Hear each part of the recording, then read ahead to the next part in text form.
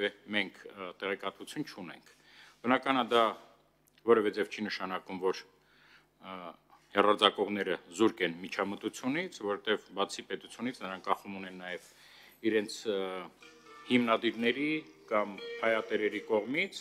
սակայն այդ պարագայում բացի իրենց կողմից բողոքների մենք ուրիշ հիմքեր չունենք դաստուգելու, իսկ բողոքներ բնականաբար որևէ անգամ չեն եղել։ Մենք մի դրական փաստ ունենք արդեն երրորդ տարին շարունակ մեր մշտադիտարկման արդյունքներով եւ բողոքների մենք նկատում ենք չարության խոսքի ապատեղեկատվության նվազումը։ Դա կարող է անզեն աչքով չերևա, որտեվ այնուամենայնիվ ընդհանրապես տեղեկատվական դաշտը բավական հագեցած է այդպիսի, հա, ճարության խոսքի, ապատեղեկատվության, հա, սպառնալիքներով, սակայն մենք նկատել ենք, որ այդպիսի բացասական բովանդակությունը ավելի շատ տեղափոխվել է համացանց, այն կայքերը, այն TV like կոչվող ընկերություններում, որոնք իրենց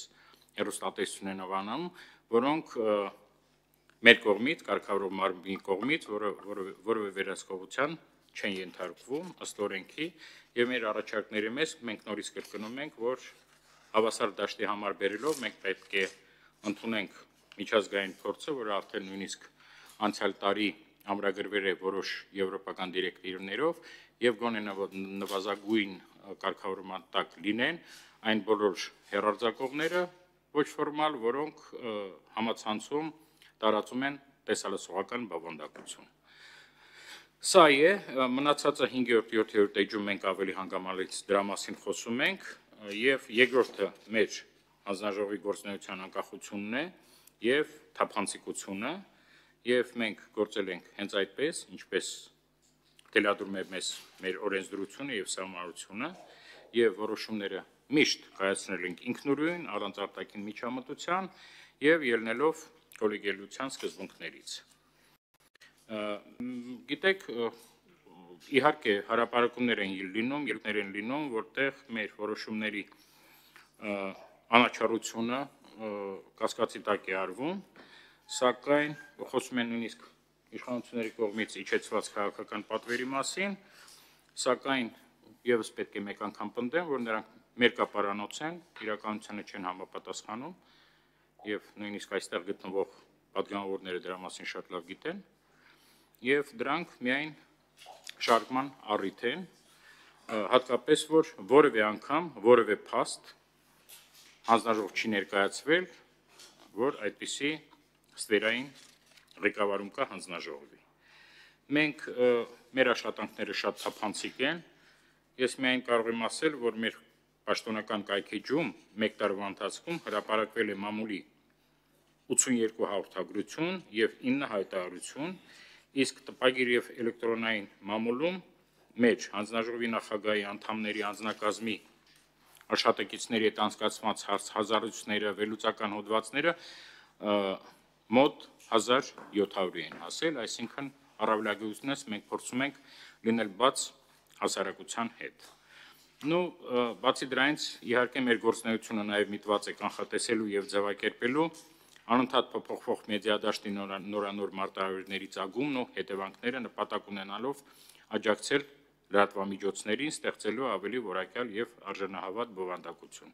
Ես իհարկե չեմ կարող ասել, որ մեզ լիովին դա հաջողվում է, բայց ամեն դեպքում մենք փորձում ենք նաեւ այդ գործառույթը կատարել։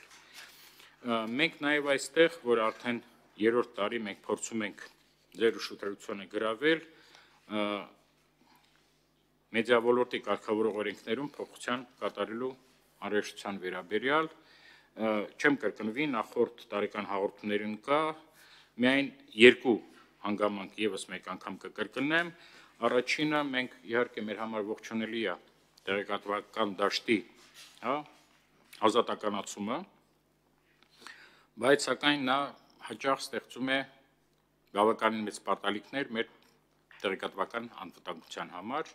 Սա մեկ եւ մենք կցանկանայինք, որ սա հաշվի առնվեր, եւ երկրորդը դա անհավասար պայմաններ հանրային մուլտիպլեքսում գործով եւ հաճախականություններ գրավող հերարձակողների եւ դրանից դուրս գործող ընկերությունների վերաբերյալ, որը անհավասար պայմաններ է ստեղծում եւ հաճախ անիմաստ է դարձնում հանրային մուլ- մուլտիպլեքսում հերարձակումը, որի մասին մենք մեկ անգամ չենք խոսացել եւ նույնպես դա մեր կարծիքով օրենսդրական կարգավորման խնդիր ունի։ Թվային ցուցանիշներին կանգ չեմ առնի, այս բոլորը մեր տարեկան հաղորդման մեջ կա։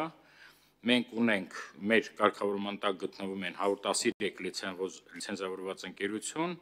որոնցից 22-ը տեսալսողական մեդիա ծառայություն մատուցողներ են, 29 լսողական եւ 62 ցանցային օպերատոր։ Գործում են նաեւ առանց լիցենզիայի